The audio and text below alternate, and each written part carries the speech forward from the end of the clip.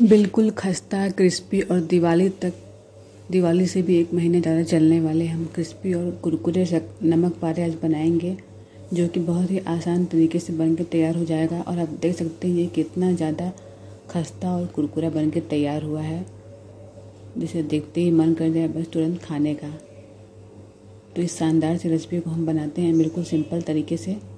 यहाँ पे मैंने ले लिया है, एक कप मैदा छना हुआ। आप चाहें तो आधा कप आटा आधा कप मैदा भी ले सकते हैं। मैदे से इसका स्वाद और बढ़ जाता है। कभी कभार व्यक्ति बनाता है। ऐसा नहीं है कि रोज़ हम बना रहे हैं तो आप आटे का भी बना सकते हैं। यहाँ पे मैंने नमक ले लिया है स्वादानुसार। थोड़ा सा हम इसमें डालेंगे अजवाइन, आधा चम्मच के करीब और आधा चम्मच मंगरेल, यानी कि कलौजी सीड।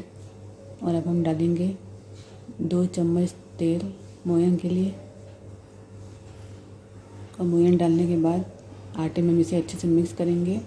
अच्छा खस्ता नमक पारा बनाने का सबसे बढ़िया तरीका ये होता है कि हम मोयन को बहुत अच्छे से मिक्स करके बिल्कुल क्रम्बल कर लेंगे तो बहुत ज़्यादा खस्ता बनता है, कम तेल में भी। तो इसे देखिए, हम बिल्कुल अच्छे से मिक्स कर लेंगे। अब ये बिल्कुल अच्छा सा क्रम्बली हो गया, इसे हम बांधेंगे इस तरीके से ये बंधेगा।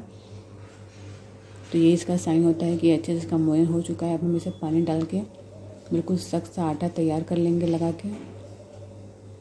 क्योंकि आटा ही सख्त रहेगा, तभी ये खस्ता और क्रिस्पी बनेगा। और अब हम इसे पाँच मिनट साइड में रख देंगे, उसके बाद हम इसे लेके फिर से अच्छे से मसल लेंगे। उसके बाद हम इसमें छोटी सी एक लोई लेंगे और इसे एक चपाती की तरह बेल लेंगे। जैसे हम रोटी बनाते हैं, उतना ही पतला में बेलना है, क्योंकि यहाँ पे मैंने बहुत ही पतले वाले नमक पारे बनाए हैं, जो कि बहुत क्रिस्पी और खस्ता लगते हैं। और चाय के साथ तो ये बहुत ज़्यादा अच्छे लगते हैं, और दिवाली में आप इसे बना के कई दिनों तक खा सकते हैं। तो यहाँ पे देखिए हमारी चपाती और रोटी अच्छे से बिल गई है।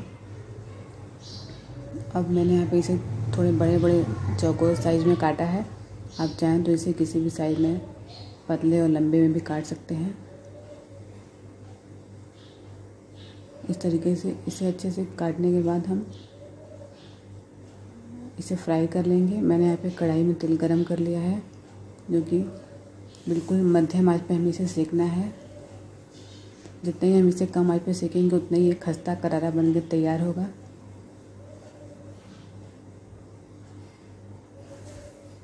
और देखिए, इसे अलपड़ के अच्छे से हम सेक लेंगे। इतना सुंदर से इसका कलर आ गया है। बिल्कुल हल्का और खस्ता करारा। तो इसे आप बना के डब्बा भर के महीनों तक रख के खा सकते हैं, जो कि खाने में बहुत ही ज़्यादा टेस्टी है और बहुत ही सिंपल और ईजी तरीका है ये। तो इसे आप एक बार ज़रूर से बनाए, रेसिपी को ट्राई करें। रेसिपी पसंद हो तो लाइक करें शेयर करें और सब्सक्राइब करें और इस मज़ेदार से नाश्ते को एंजॉय करें। इस दिवाली में बना के देखिए कितना ज़्यादा डिलीशियस नाश्ता बन के तैयार हुआ है।